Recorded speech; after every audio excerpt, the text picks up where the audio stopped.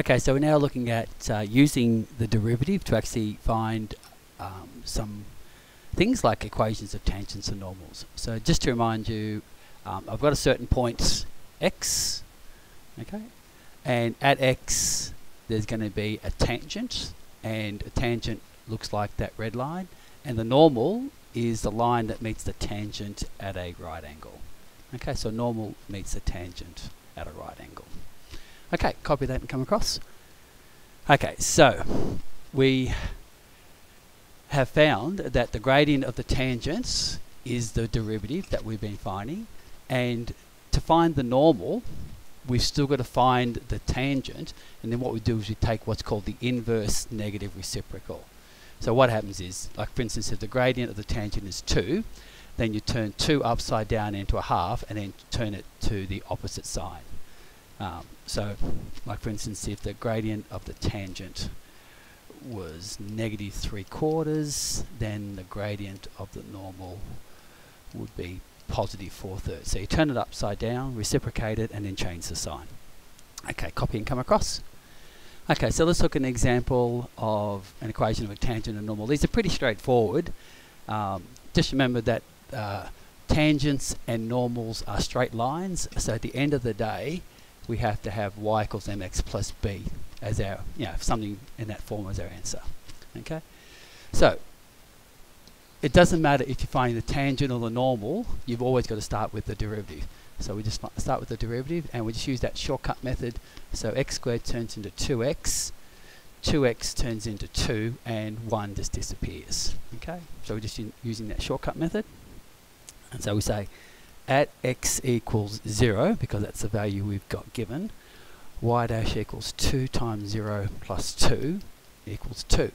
So straight away, I know that the gradient of the tangent equals 2, and I also know straight away that the gradient of the normal equals minus a half. And we're going to use both those values in this question.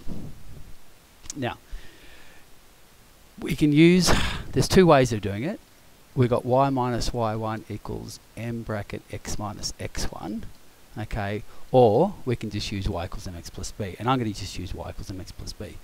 But regardless we have to have a y number to substitute in and at the moment I've got an x number but I don't have a y. So what we're going to do is at x equals 0 y equals the original formula 0 squared plus 2 times 0 minus 1, so y equals minus 1. So what we're going to do is we'll do the tangent question first, and then we'll do the normal question second. Okay, so we've got y, we've got m, we've got x, we don't know what b is. Okay, um, Whereas if you use this form, uh, you just put it in and the b value comes out. So let's have a look at the tangent. So y equals mx plus b the y number is minus 1, the m value, we're doing the tangent, is 2, the x number is 0 plus b, so b equals minus 1. So the tangent is y equals 2x minus 1. Okay, so we've done the tangent question. Now we're going to do the normal. So we're going to do the normal question now. So I've got y equals mx plus b. y is still minus 1. But now m is going to be minus a half. And x is still 0 and plus b. So b equals minus 1 again. And so this time the answer is y equals minus a half x minus 1. Now it turned out they look similar, but it's only because the x, x value was 0. If x had been any other number but 0, then you wouldn't have the same value.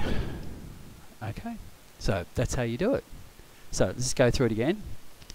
Okay, it doesn't matter if you find the tangent or the normal, we've got to find the derivative. Okay, then we substitute the x value that's given in the question to find the derivative, and that derivative is the tangent, And then to find the normal, we use take the opposite.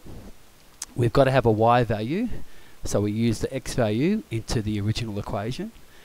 And then we just set up a y equals mx plus b. Now, obviously, you can use that also, and you'll get the same answer. Okay. Uh, so let's have a look at this question. So example two, find the points.